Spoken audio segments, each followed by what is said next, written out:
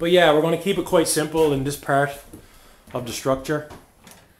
Carry on through. Here. Here's a little walkway. Here you see some of the nature encroaching on our building. That little front porch, sadly, will probably have to be totally removed and rebuilt. Um, there's not much salvageable about it right now, I don't think. And this is our other dining room in, again, the what we're calling the cottage proper. Forgive the mess, but we're doing, we're, we're trying to strip her down so we can build it back up. So these are our hearths, as you saw in the other room. The intention is to get these rebuilt and refurbished and stuff. One of them is, is open and things. With modern uh, with modern rules and requirements, we have to do a lot of work on the chimneys and things like that. But uh, it's all part of the plan. And again, you'll see there's the ceiling, which is about six inches above my head, about six sevens or so, something like that, just under seven feet. Again, give you a feel for what we're dealing with. Again, same thing in here. Not much changing really. Just uh, you know, obviously we'll have to clean it up and do the things we need to do to make it uh, workable from a commercial standpoint. But we really want to keep the cottage as original as we can. Here we see uh, one of the doorways. Now this doorway is approximately five foot seven, so I almost have to lie down to go through this one. But we'll see what we can do about that. This is, here's some of the. You can see some of the newspaper that's here on the wall. This one in particular here is uh, from Rio de Janeiro. So that's interesting. Interesting wallpaper. Not many people with the Rio Tribune on their wall, but such as it is here in Mallard Cottage. Can't quite see the date on that one, but there's some more some more cool old newspaper. We're going to try and keep some of that, some of the character or some of that anyhow. But uh, the builders and things will advise us is what we can do there. Again, a lot of work, but you know, it's for a building that it's as old as it is. We're pretty, we're pretty happy with the shape that it's in. So this will be basically reception and entrance. Again, the two dining rooms that we just walked through. This will be, you know, where you'll come in you know, we'll grab your, we'll get your coat here. This will probably be a spot where you can get a coffee and things in the summertime. You just want to pop by, grab a coffee, and carry on on the East Coast Trail or hike up Signal Hill. This is, uh, you see the, the newer building that's out through the back there. We're hoping that uh, basically this window that I'm showing you now is going to be the entrance into what will be the new building that will be attached to Mallard Cottage, assuming all our permissions are are uh, are approved and, and our architects can can come up with the plan. Um, so basically, you'll just walk right into what is what will be basically the main dining room, large ish, open concept, uh, dining, open kitchen, uh, lots of wood, lots of natural product, clay, wine goblets, and local Newfoundland product in everything that we do. It's our intention.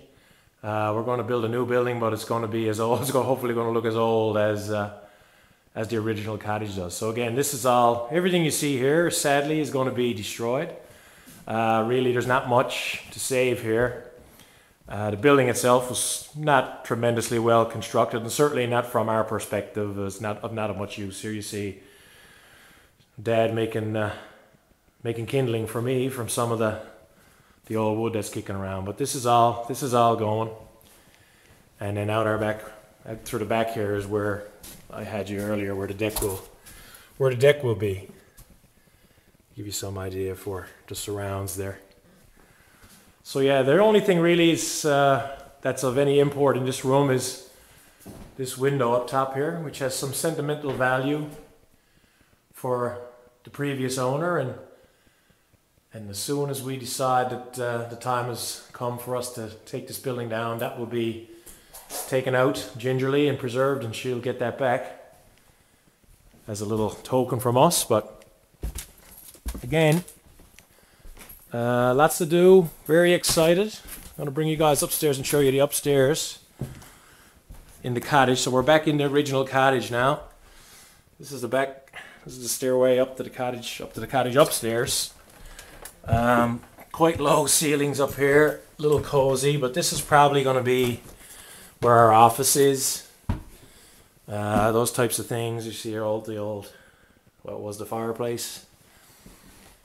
Uh, been doing some tearing up in here as well. So these ceilings are, my head just about touches them in here. So just about six two or three, I'd say, is the ceiling in here.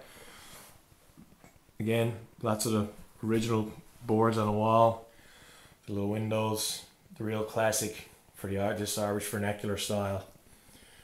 Again, this would have been bed, you know, back in the day, would have been the bedrooms. It's going to become our offices. Just too difficult to get uh, proper permissions and things to allow public up here. It's just uh, given the, this, this, the state of the building and the the way the rules are now with egress and people being able to get in and out. Um, it won't be conducive to any kind of public interaction up here, but certainly for light storage and our offices and things like that, it would be fine. And you know, probably be one of the coolest offices in St. John's, at least as far as I'm concerned, it will be.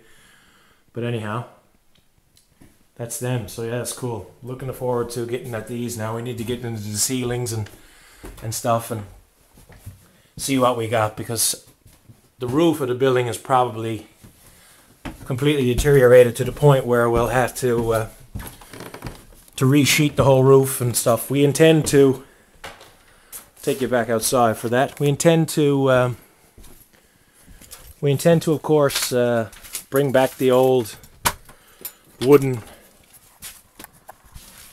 the wooden shakes on the on the roof, which would have likely been what it was originally. But I don't think we got anything to nail them to up there now. The tar paper is probably all that's really keeping the water out of that building at all. But um, there's our the Inn of Olde across the street there, Linda's lovely little pub. And then heading into St. John's out 10 minutes. 10 minutes, but $10 cab ride from here to George Street. So there you see our ceiling, the whole roof will be, it's probably going to have to be reconstructed. The chimney is going to be reconstructed. Um, yeah, lots to do. There's the, the little porch out front that will be rebuilt. And again, the whole front, given the heritage nature of the property, the whole front will, what can be or has to be replaced will be replaced.